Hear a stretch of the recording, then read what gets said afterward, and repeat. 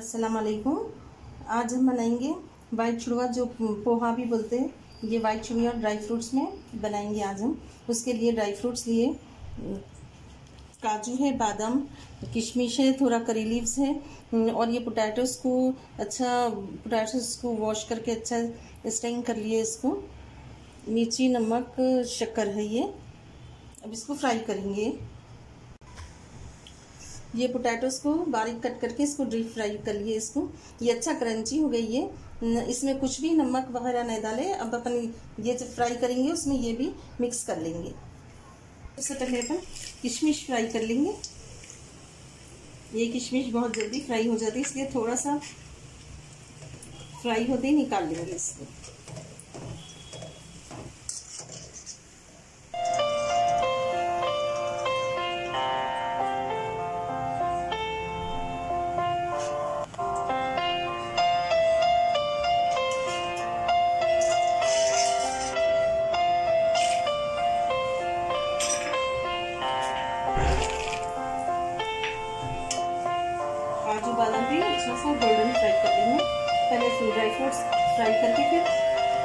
Fry करूँगा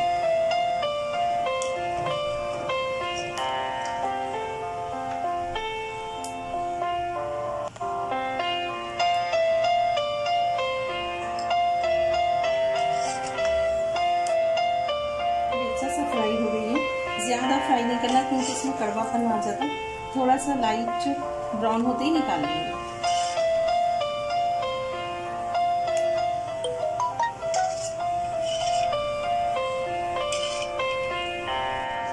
पहले थोड़ी सी हल्दी डाल देंगे। हल्दी डालते ही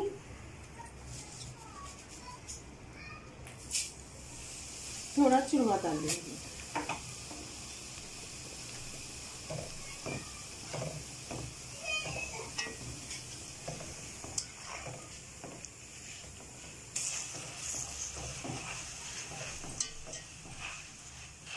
माशाल्लाह से ये अच्छा फ्राई हो रहा। ये चुड़वा से अच्छा फ्राई हो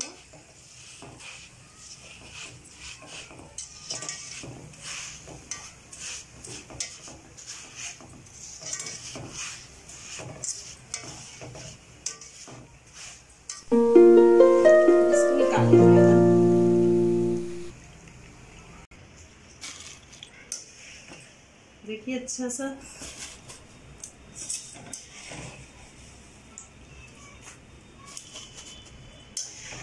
ये बहुत जल्दी फ्राई होता है। देखिए, ये अच्छा सा फ्राई हो गया।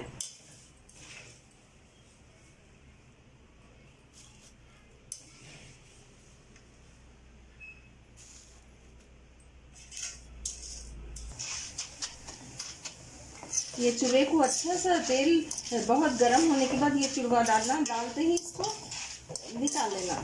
अगर ज़रा आप ठंडे पे डालेंगे तो वो चूड़वा नहीं फ्राई होता। एकदम तेल बहुत गर्म होने के बाद ये चूल्हे को फ्राई करना। दो यही ऑयल में करी लीव्स भी फ्राई कर लेंगे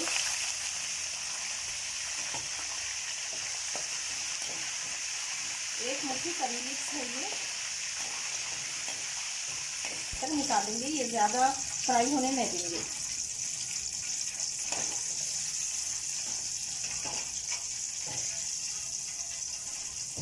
ये चुड़वा करी लीव्स रेडी हो गया फ्राई होके रेडी हो गया। इसको न्यूज़पेपर पे निकाल लेंगे इसको। टिश्यू पेपर पे नहीं निकाल सकते अपन न्यूज़पेपर बिछाकर न्यूज़पेपर में अच्छा निकाले तो। ये पूरा ऑयल एब्जॉर्ब हो जाता है इसमें। ये पोटैटोस जो अपन बारीक फ्राई कर लिए थे अपन, ये पोटैटोस ऐड कर देंगे। ड्राई फ्रूट्स ड्राई फ्रूट्स पूरे ऐड कर देंगे। ये थोड़े से फली और थोड़ी फले चने की दाल जो होती है, वो भी थोड़ा सा फ्राई कर ली मैं। ये आप लोग अगर पसंद आ रहा तो ये डाल सकते हैं ऑप्शनल है, अगर नहीं तो आपकी मर्ज़ी, नहीं डाले भी तो चलता ये। मिर्ची, नमक, आप आपके टेस्ट के हिसाब से डालिए, मिर्ची, नमक, शक्कर है, ये भी ऐड कर देंगे। इसको अच्छा सा मिक्स कर देंगे।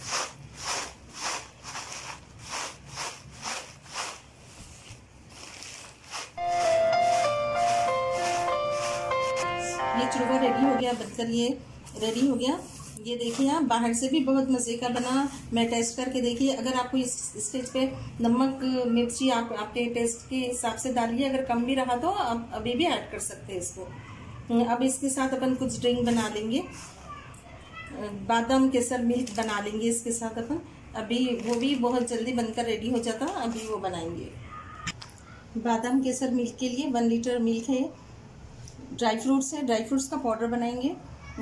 केसर है ये। थोड़ा सा केसर भी ऐड करके अच्छा सा बॉईल कर लेंगे इसको। अच्छा पका देंगे केसर में ड्राई फ्रूट्स, केसर मिल्क शुगर डालेंगे इसमें। वन लीटर में एक टू फिफ्टी ग्राम शुगर लेंगे। मिल्क अच्छा सा बॉईल हो गया। मैं ऑलरेडी मिल्क को बॉईल होने के लिए रख दी थी। अच्छा सा मिल्क बॉईल हो गया, एक ट्वेंटी ट्वेंटी फाइव मिनट्स अच्छा सा बॉईल होने मैं इसको स्लो फ्लेम पे।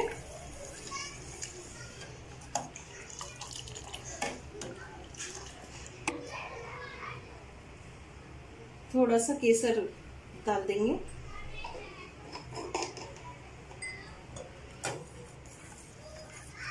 केसर डालकर अच्छा सा पकाएँगे इसको।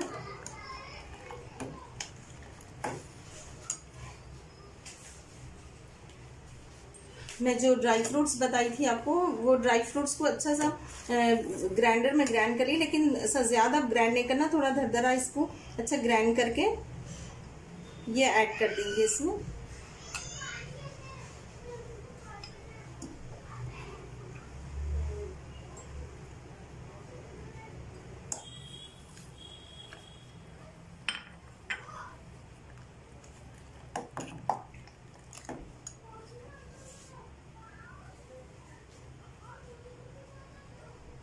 शुगर ऐड करेंगे। आप शुगर आपके टेस्ट के हिसाब से ऐड करिए।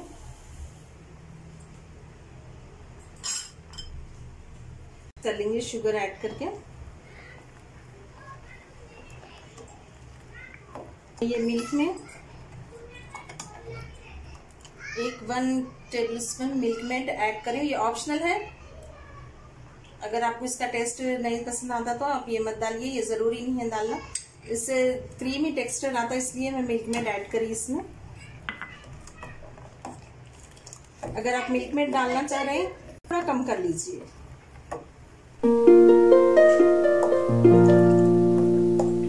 ये बहुत ही मज़े का हम्म, बहुत ही मज़े का ड्रिंक बनता है ये। बादाम केसर का मिल्क बहुत मज़े का बनता।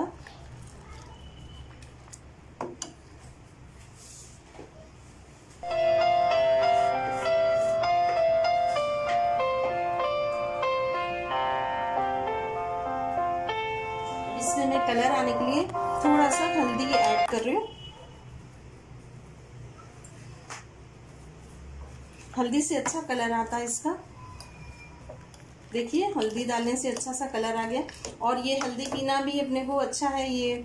जो कोरोना का चल रहा है, उसमें हल्दी दूध डालकर अच्छा सा पका के आप बच्चों को दे सकते हैं, बड़े भी पी सकते हैं। ये हल्दी भी डाली में। हल्दी डालने से कलर भी अच्छा आ गया इसका।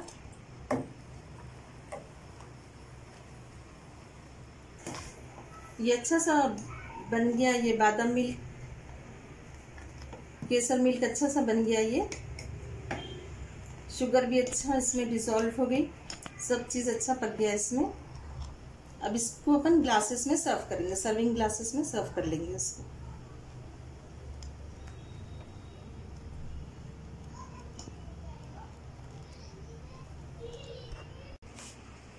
रेडी हो गया? ये चुड़वा, ड्राई फ्रूट चुड़वा रेडी हो गया। बादाम केसर मिल्क भी रेडी है। उसमें अपन थोड़ा सा ड्राई फ्रूट्स का पाउडर जो अपन बनाए थे, वो थोड़ा सा स्प्रिंग कर लेंगे इसमें।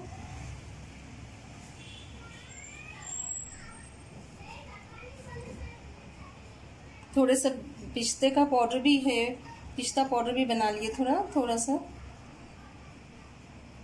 इसमें ऐड कर लेंगे। माशाल्लाह से ये बहुत मज़े का होता आप लोग ये ज़रूर बनाकर बच्चों को दीजिए। ये जो मिल्क है, केसर बादाम मिल्क, ये कोविड नाइन्टीन में तो ये बहुत अच्छा रहता है, बहुत हेल्थी रहता आप लोग बच्चों को बनाकर डेली या दो दिन में एक बार कैसे भी बनाकर दीजिए बच्चों को ये। बहुत टेस्टी भी रहता और ये बहुत हेल्थी भी है ये मिल्क।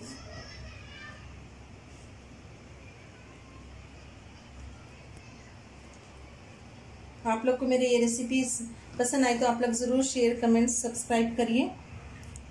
अल्लाह हाफिज़।